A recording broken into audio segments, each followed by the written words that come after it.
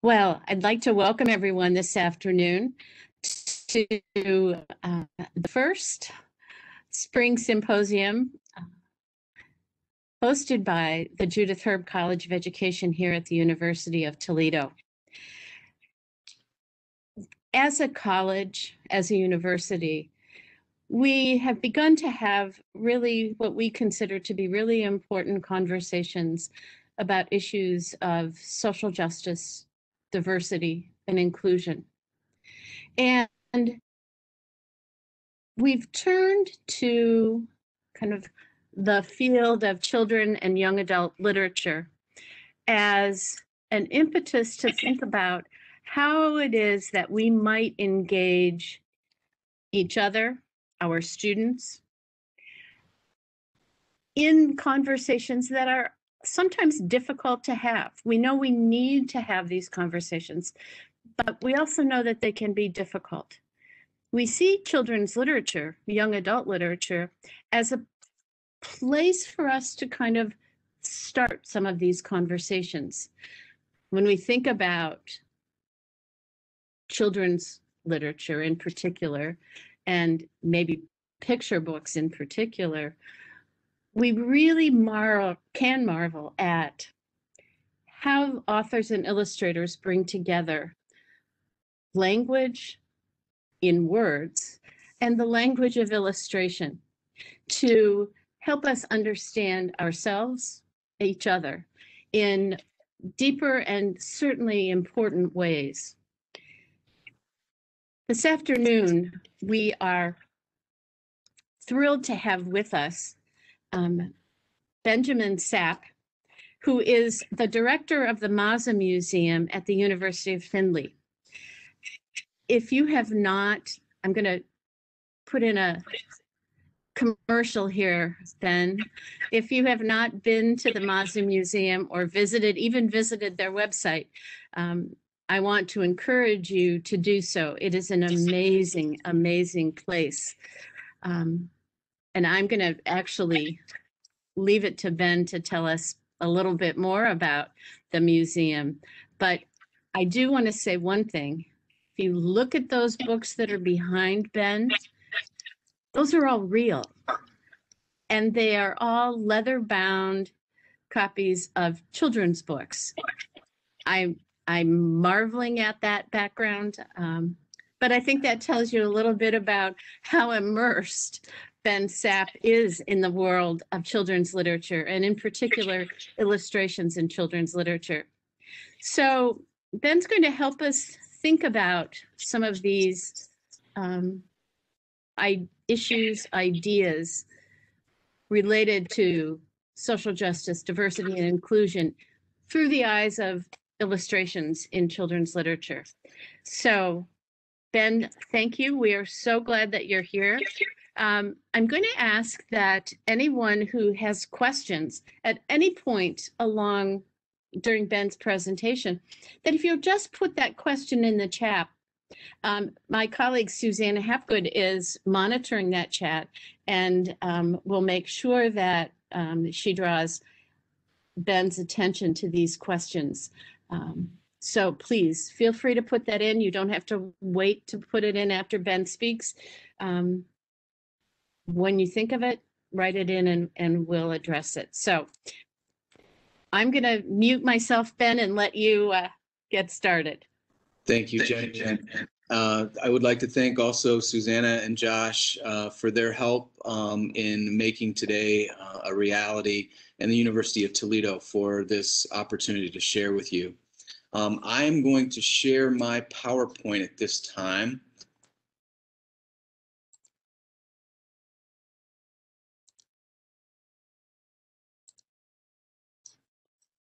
Um, the University of Findlay's Mazza Museum uh, started in 1982 uh, with four original works of art um, that were housed in the basement of our college library. And a man by the name of Dr. Jerry Mallett, who was a student of Herb Sandberg, which some of you might know from the University of Toledo, um, Jerry's idea was that there should be a place that gives recognition to the artist or the illustrator of picture books. And so he met with Dr. August and Alita Mazza. They gave the seed money to start the collection. And uh, their dream or goal in 1982 was if somehow we could acquire at least one new work of art a year, it would be a wonderful goal uh, that would that could be reached. Um,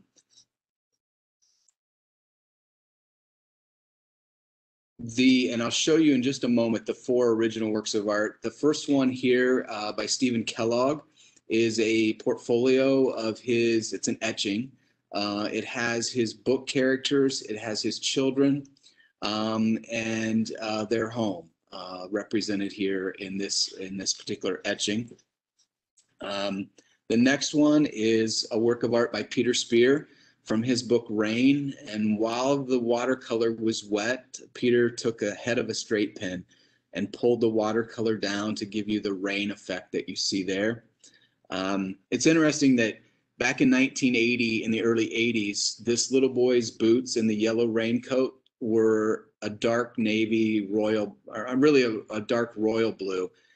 Blue is the worst color to fade in watercolor. And so in our museum, um, we keep the lighting equivalent to 15 candle power, uh, use UV glass to try to keep this type of thing uh, from happening. This one by Ezra Jack Keats from apartment three is was our third work of art. And then the last one by Eric Carle, uh, the mixed up chameleon. Uh, Eric later did our um, banner for when our building uh, here on campus in 1994 uh, was built uh, for where the museum is currently housed. Um, he did the uh, celebration banner for that. And then about 15 years ago, he came and he spent three days with us along with his director, Nick Clark. They uh, went back to Amherst um, and ended up building the Eric Carle Museum. Uh, some of you might have been there. Uh, it's a wonderful place. We share a lot of the same similarities. Um, in the end, there's some differences too, but the, the real framework is taking and, and appreciating art from picture books. Um, so that goal has been broken. Uh, today we have over 17,000 original works of art from artists from all over the world. And these are all original works where you can pick up the book that goes around our museum and see the original hanging uh, up above. And um, it's a very special resource. Uh, it's um, very much uh, appreciated and used on our college campus. Um, what we do is when the artists come in, we videotape them talking about themselves and about the work of art that they created that we have in our possession. Um, and then as you walk around the museum, you can listen to them tell you about themselves and the artwork that you're looking at versus having myself or one of our docents.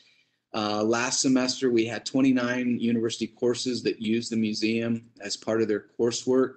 One that I'm most excited about is the School of uh, Occupational Therapy. They're using children's literature to take Alzheimer's and dementia patients back to a time that they can remember. And then our art students are helping them to recreate that memory on paper. And then we have those works of art that they created on display here just outside the museum doors. Um, I tell you, it is so powerful to see the families come and to stand there and to just appreciate this um, sense of coping and this sense of helping their parent um, deal with this this major health issue uh, in their life. So, on a normal year, we would have uh, a, a, bit over 5,000 school uh, children-led tours. Of course, this past year has been one that we I think we all would like to forget, and can't wait to get back to having school children come through our doors. Um, generally, on a given year, we have 21 different visiting artists and authors that are here to speak and would encourage you to come and to be a part of that from conferences uh, to Sunday afternoon events to, um, I'll talk at the end a little bit about our study tour where we travel to the homes and studios of our artists um, about every other year to a different part of the country to see where they work, how they work, what inspires them.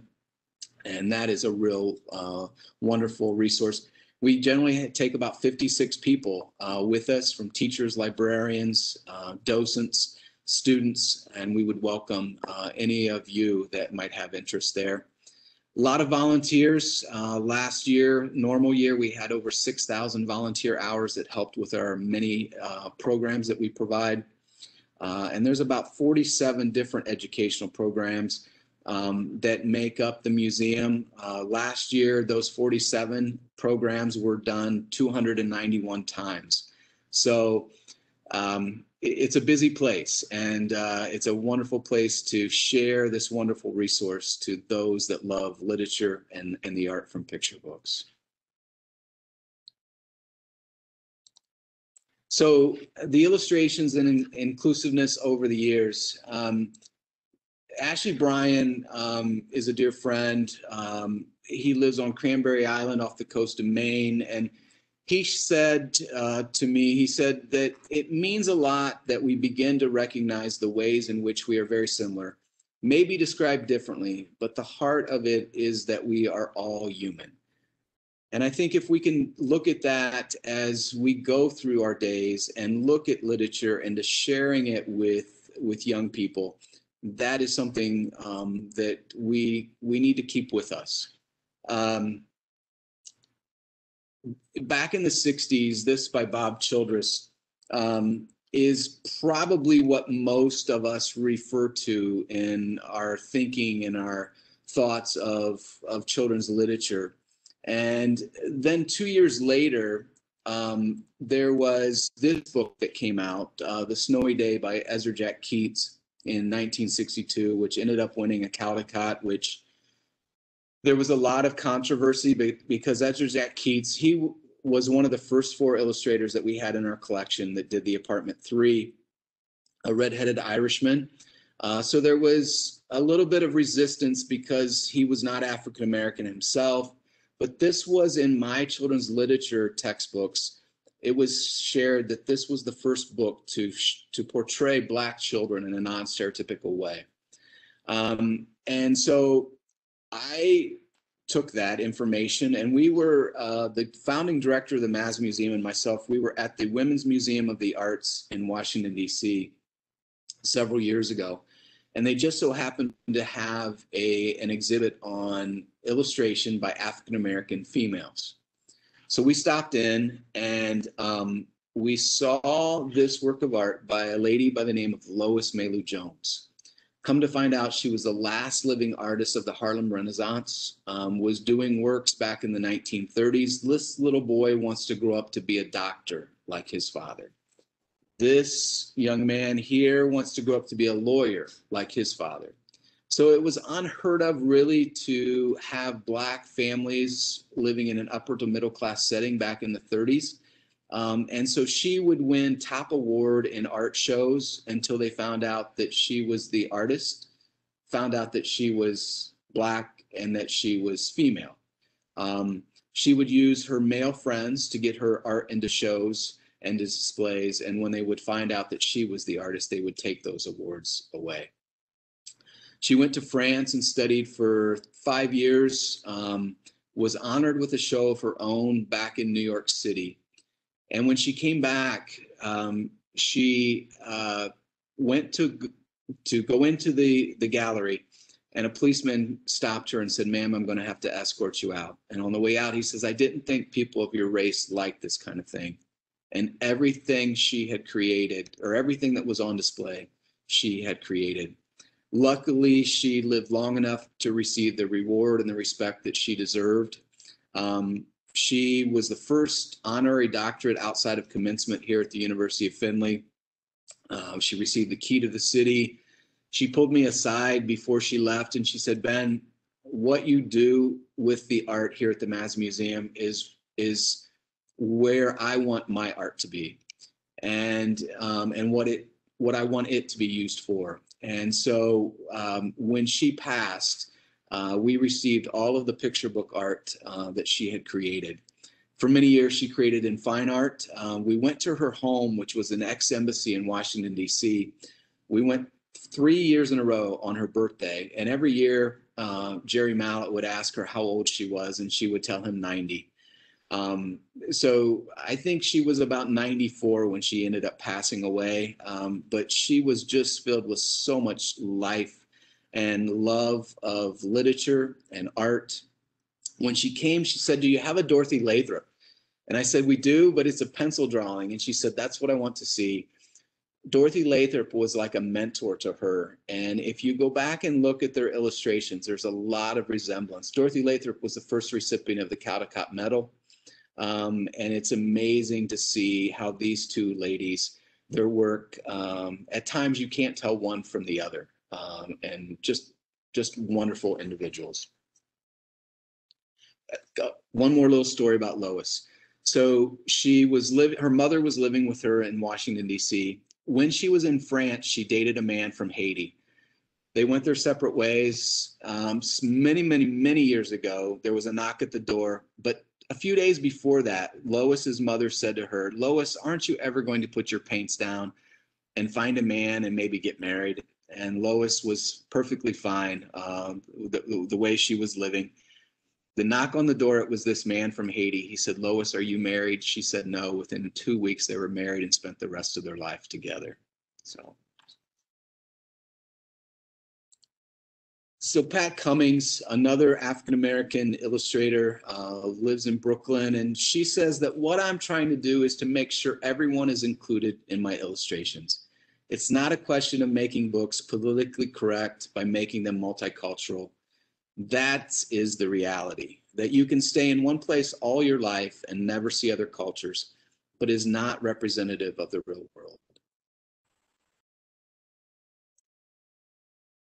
Um, as Cozbi, um, wonderful author illustrator that you've uh, have heard uh, earlier and, and will again, I think, be a part of the panel this afternoon.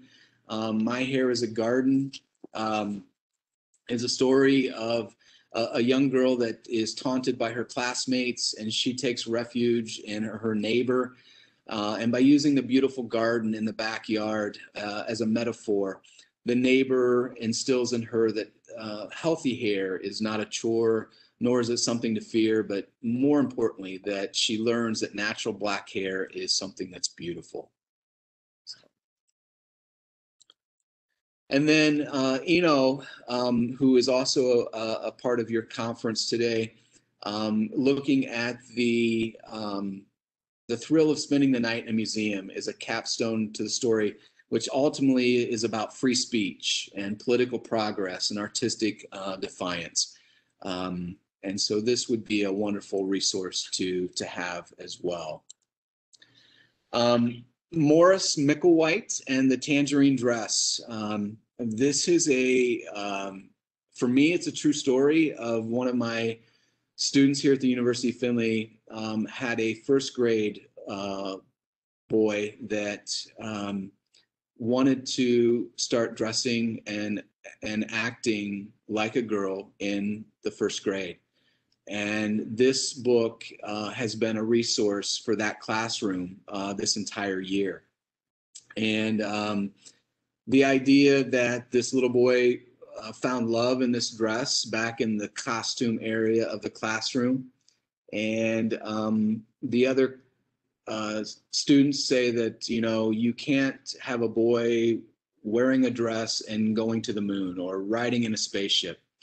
And so it's it's truly a book about acceptance. And um, I think that is what this inclusion is. Um, you know, every day that we we live, every day that we listen to the news, um, is filled with things that I feel that picture books truly, if we can go back to what we find in these books, it would help us on a day-to-day basis uh, deal with some of the things that we hear uh, daily in our news.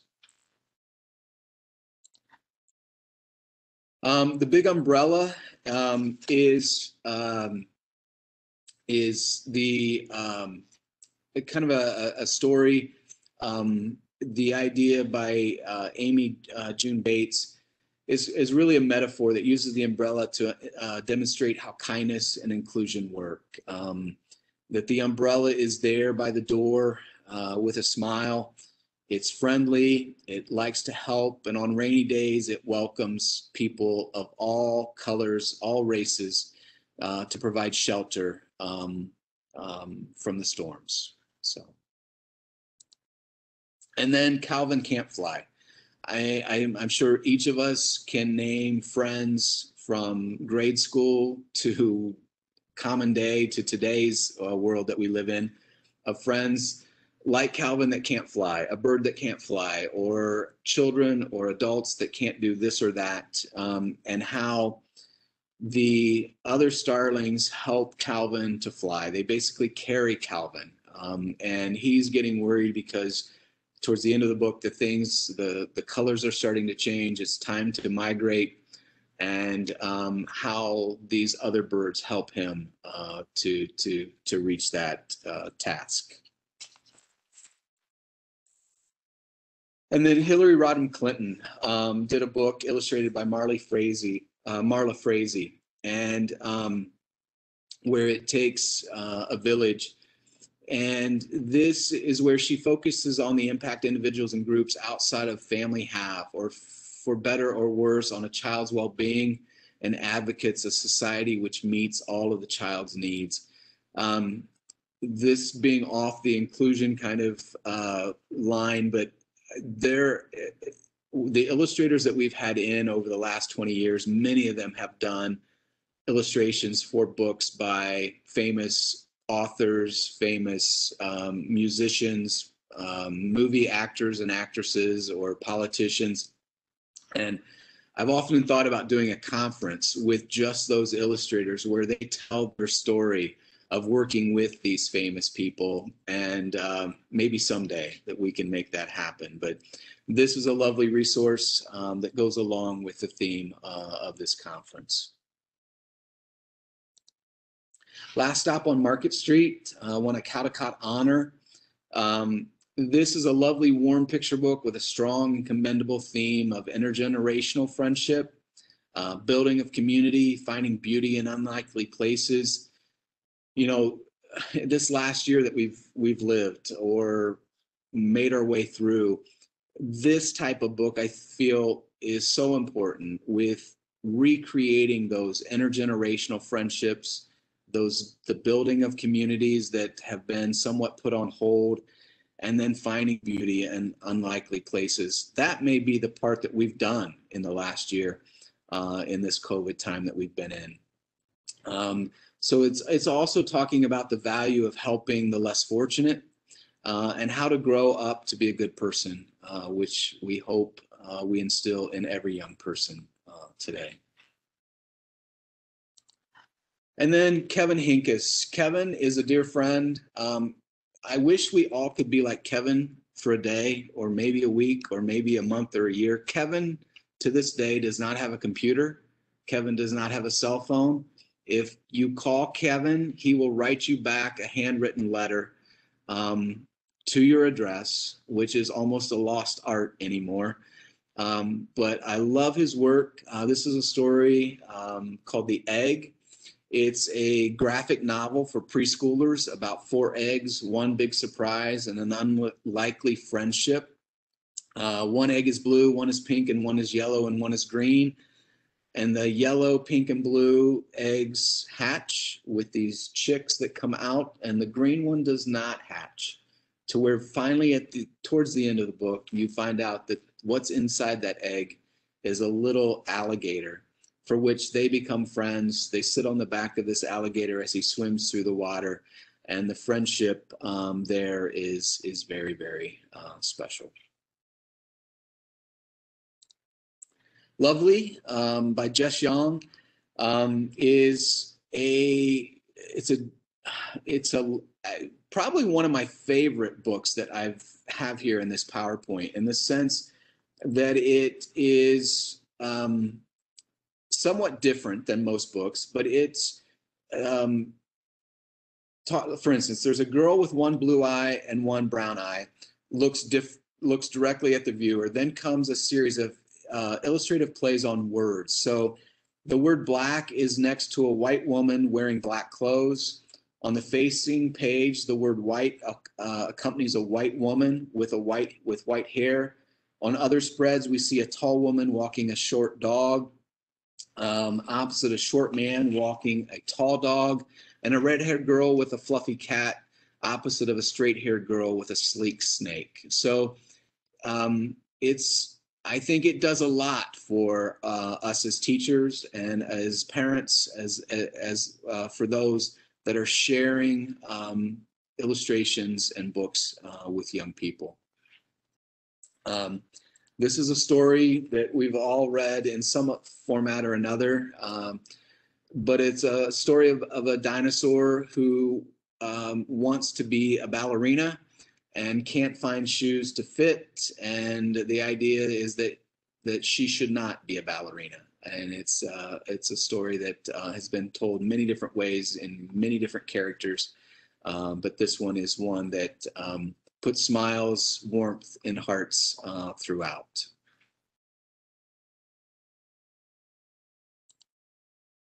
This is how we don't, or this is how we do it. Um, is a um, the idea that while we play, while the play we do may be different um, from where we come from, there's a shared rhythm of the days uh, in the lives of these uh, children. And this is the world that we share, is what unites us, uh, is kind of the concept um, from this book. Done in a, um, a somewhat of a different way, um, but I like the different cultures and the different um, uh, the different rhythms, the different games, the different ways that we uh, spend our time, and how we together unite um, into something very special. Strictly No Elephants is a story of a little boy um, who, uh, one day at school, uh, there is the pet club day. And the pet club says that there are strictly no elephants allowed. Um, and uh, so it goes on to share about how um, the idea that um, elephants come in all shapes and sizes, as do other pets. And uh, this little creature should be allowed to be a part of um, this pet day at school. Um, the idea that it's a sweet story that captures the magic of friendship and the joy of having a pet even if that pet is different, uh, just as having friends, um, we all are different and should be accepted uh, on whatever day it may be. Come With Me um, is a story uh, championing uh, the power of kindness, bravery, and friendship in the face of uncertainty. Uh, a lovely, lovely story. And then I am here is um, is where we have three students from that are immigrants from uh, Guatemala, Korea, and Somalia, and they have trouble speaking and writing and sharing ideas in English in their new American school. And so it shows throughout the book how friends, they become friends with other students, teachers, parents in the community that help them to gain a sense of their uh, of their new home but not losing sense of their home country, their language, and their identity. And I think this particular book is one uh, that we all should have uh, as a reference uh, in our sharing. Family is a family is a family. Um, this is uh, a, one of my favorites as well. Um, the idea that one has many step siblings, uh, another may have a new baby in the family. And as this young girl's classmates describe who they live with or who loves them, family takes very different shapes. They have very different sizes and every kind of relation. The child realizes that as long as their family is full of caring people, um, it is it's special. It's okay. Um, so, um, kind of following the circle of family and friends through the course of the day, and it it goes from the morning through uh, nighttime. The book affirms the importance um, of things great and small in our world. from the tiniest shell on the beach to the warmth of the family connections in the wildest sunset sky. Uh, so it, it's a lovely, lovely book.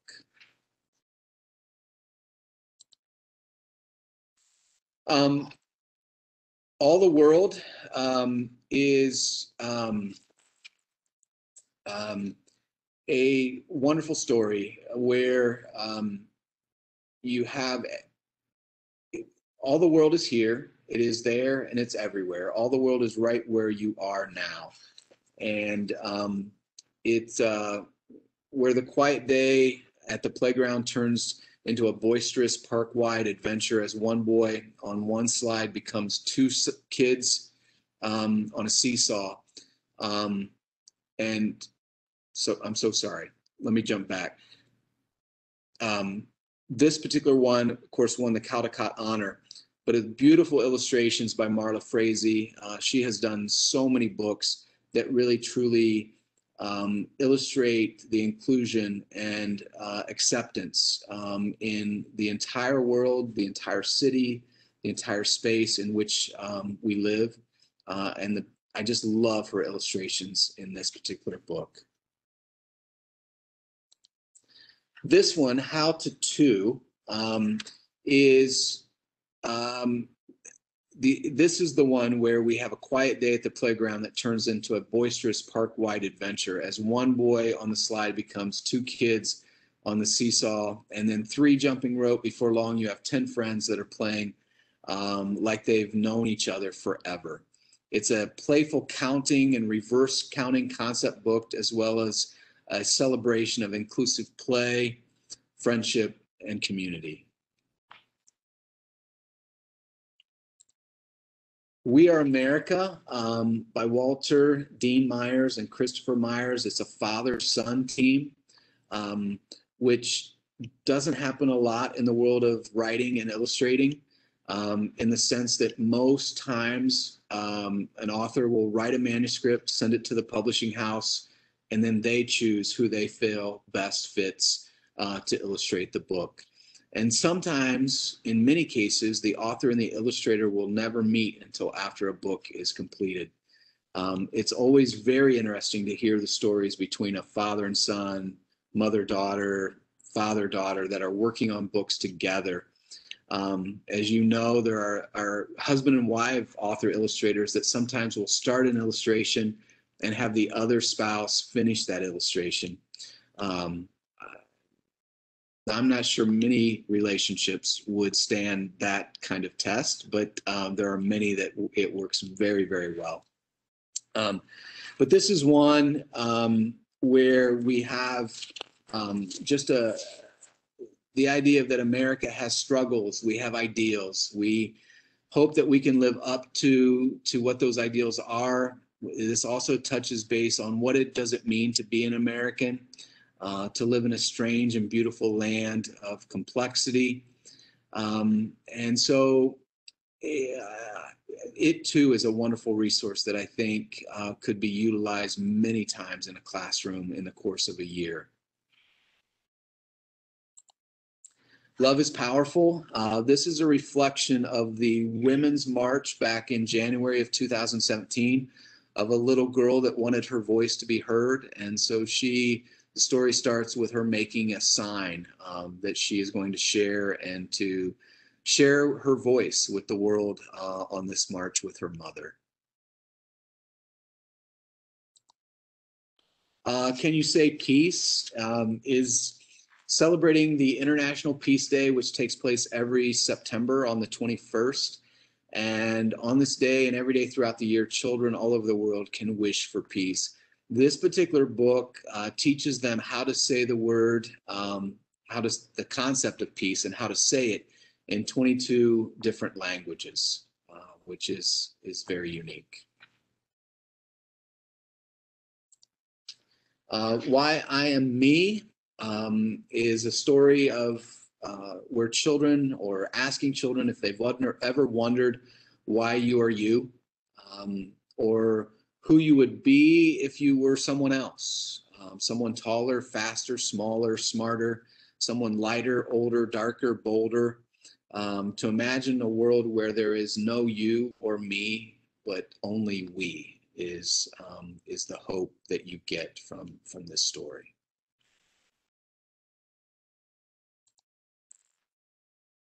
Um, this particular book, uh, All Are Welcome, is a warm and welcoming picture book that celebrates diversity and gives encouragement and support uh, to all kids. It's where we follow a group of children through their day at school and where everyone is welcomed with wide open arms. Um, you have kids coming in various um, clothing from different countries and different um, multicultural uh, backgrounds. And again, everyone is accepted and welcomed um, as friends.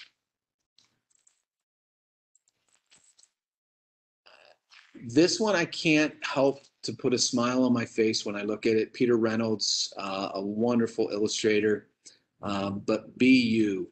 Um, he um, says that in this particular book um, and in his words is that be your own work of art. Um, and in, in doing that, we need to accept each other and each of us being our own work of art, um, which is, is very, very special. And then each kindness is a um, story um, by Jacqueline Woodson, illustrated by E.B. Lewis. Uh, we just acquired a work of art from this particular book, and we're very honored to have it. Um, it's a lesson where um, a child um, misses the chance to become close to another uh, a girl. A girl named Chloe doesn't really know why she turns away from a new girl called Maya to where eventually Maya leaves the classroom and Chloe wishes she would have been kind and accepting uh, to this new girl. And um, it's a, a, lovely story, heartfelt. I love E.B.'s uh, illustrations. And again, really tying together um, the acceptance and the inclusion um, that we hope to and we strive for uh, in all of our relationships. Um, Jerry Pinkney um, shared this with me. He said, I want you to know that the illustrations that I paint reflect African Americans, but I see we all have the same feelings. We have the depths of emotions. That's American experience, where we deal with people that might be different than oneself, but we all have many of the same things in common.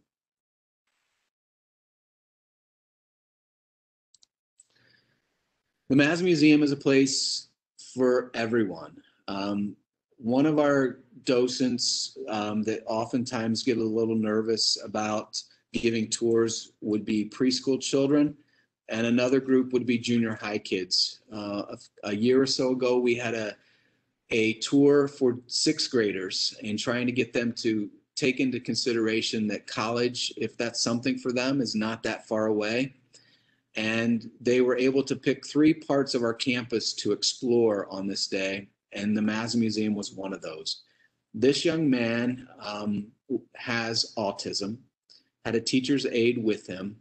He could tell you more about Rosemary Wells than he could tell you than than she could tell you about herself. Um, he said to his teacher's aide that he was not going to the other two sessions. He was going to spend the whole day here looking at her artwork. And later that afternoon, I sent her an email to say, Rosemary, it's amazing the impact you have on this young man. Two and a half weeks later, in the mail came an original illustration from one of her Max and Ruby books, autographed to him. I called the principal and I said, Don, I said, how can we get this to this young man? And Don says, well, in two weeks, we have an all academic assembly that um, we would we could give this to him for because he would not normally be going to the auditorium because of the the large audience.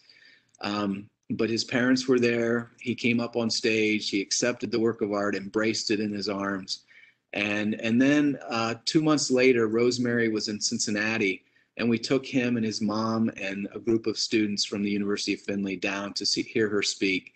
And it was just something so very very special. Uh, so Um, again, the study tour, we'd love to have you join us. We visit um, many, many different illustrators, uh, uh, generally about 26 every time we take a study tour to visit our authors and illustrators in their homes and studios.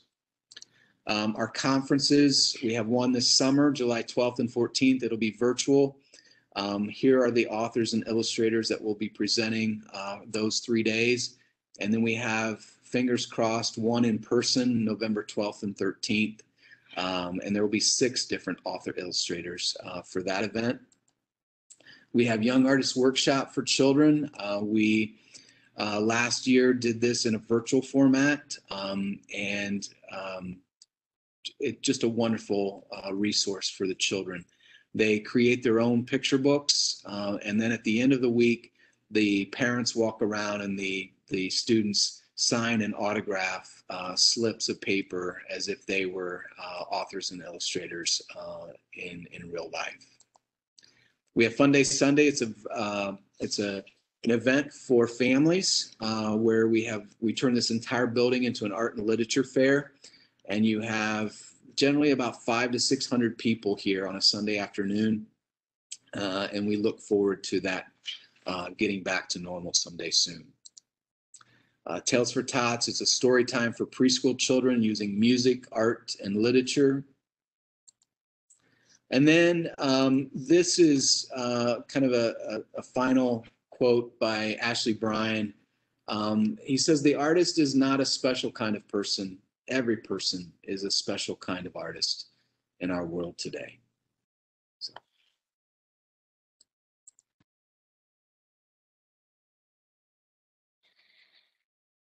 Wow. Um,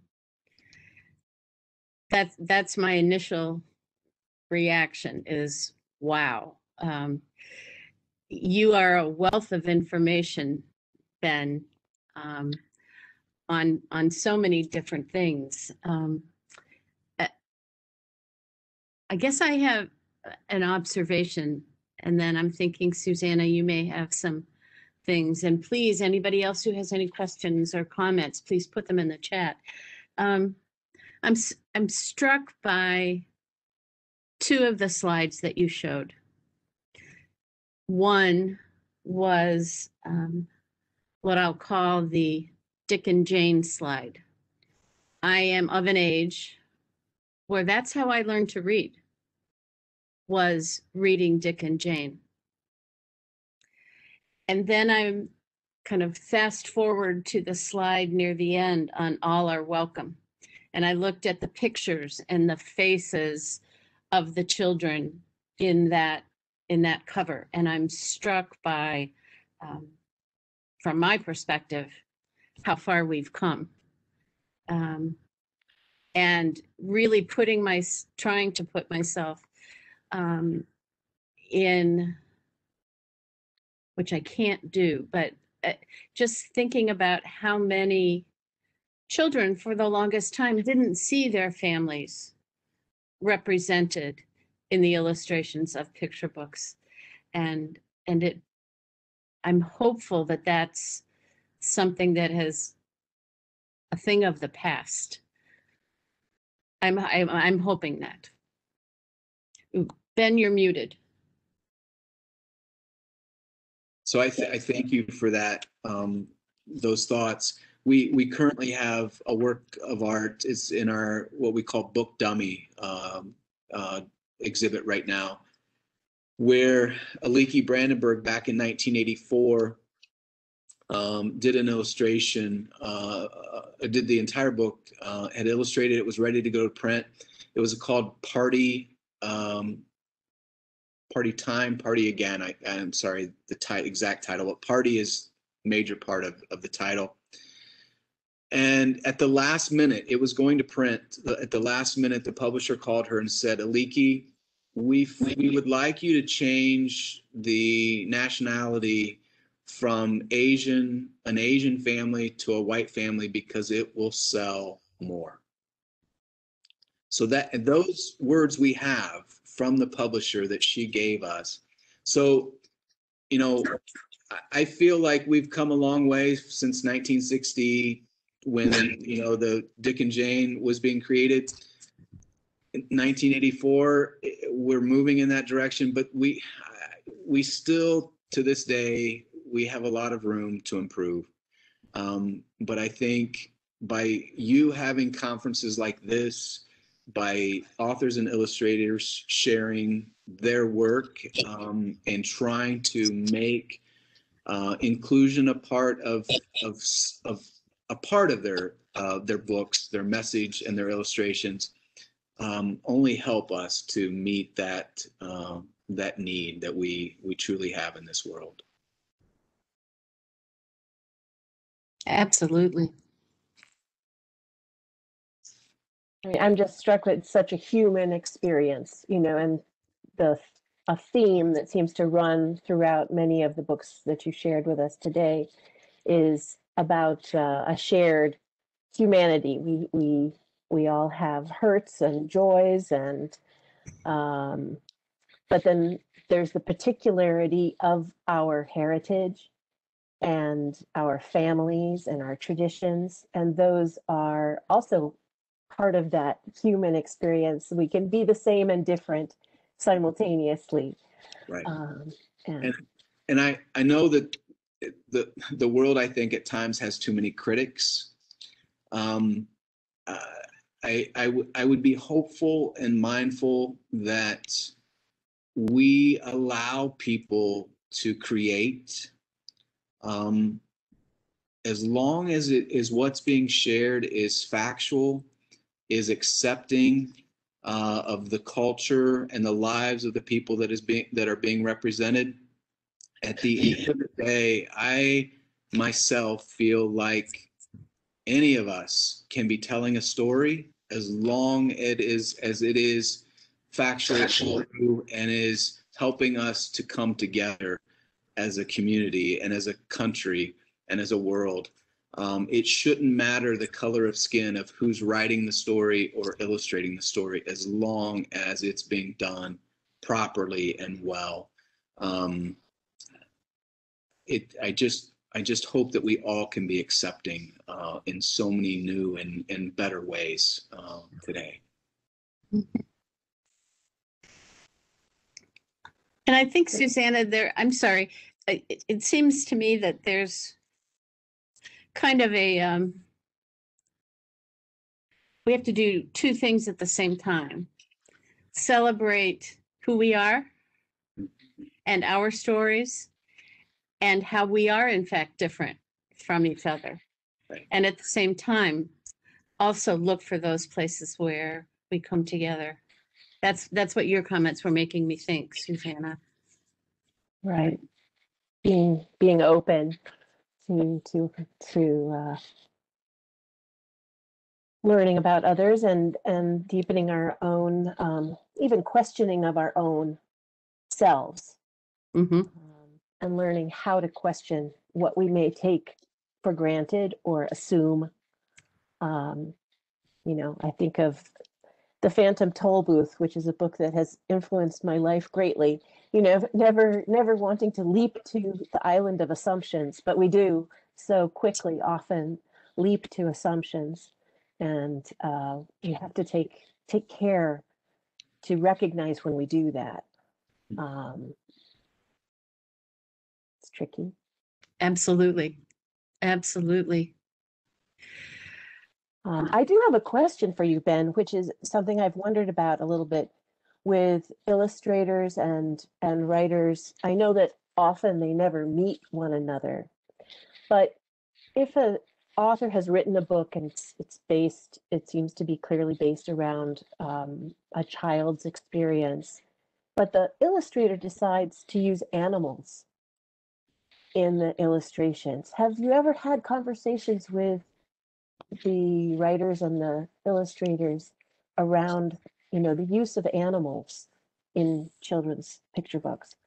Yeah, we, matter of fact, we just so since COVID, we've been doing what we call Mazza Artist Monthly, and um, we just had um, Harry Bliss who did a book uh, and decided to use animals, and it was primarily um, he he said that um, part of the reason was he didn't have to worry about the politicalness of cultures or male female and trying to make all of that please the critics. Um, and and and uh, and sometimes we have the simpleness of them just saying it's a lot easier to draw an animal than it is a person uh, or to paint. But those were his words and um, i think i think we all are a bit more sensitive right now um, in that political realm and um, that was something that his publisher was was totally fine with um, was to utilize um, animals as the characters instead of people.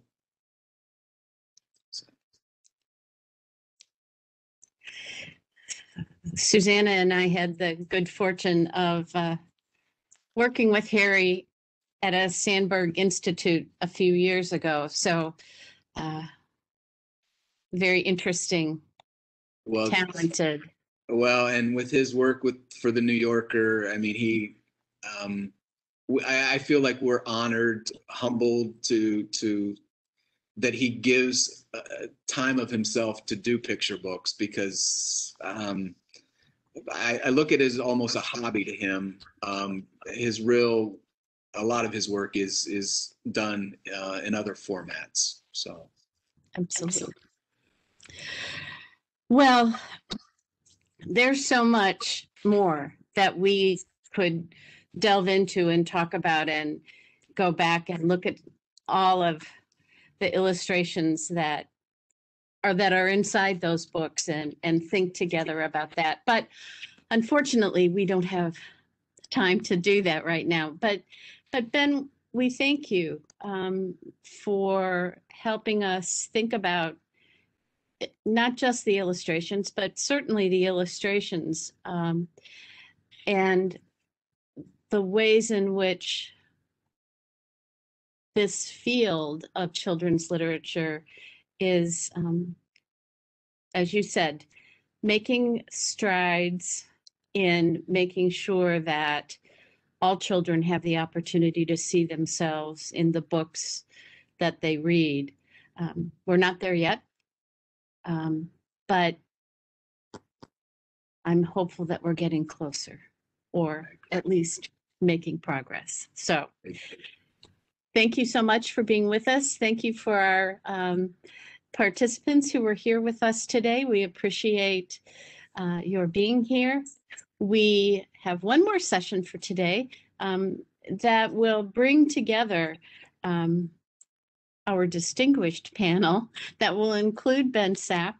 It will include um, Innosanto Nagara and Cozbi Cabrera, um, our authors and illustrators with whom we've spoken earlier this morning, as well as um, Mike Deetsch, who is the Director of Education from the Toledo Museum of Art, and um, Dr. Heidi Appel, um, the Dean of our Honors College here, who is um, been very instrumental in uh, helping a lot of people at the university and beyond think about visual literacy, which we think kind of ties right in with this notion of the stories that we have to tell, both with words and pictures. So thank you all, and uh, we look forward to hopefully seeing you at four o'clock this afternoon.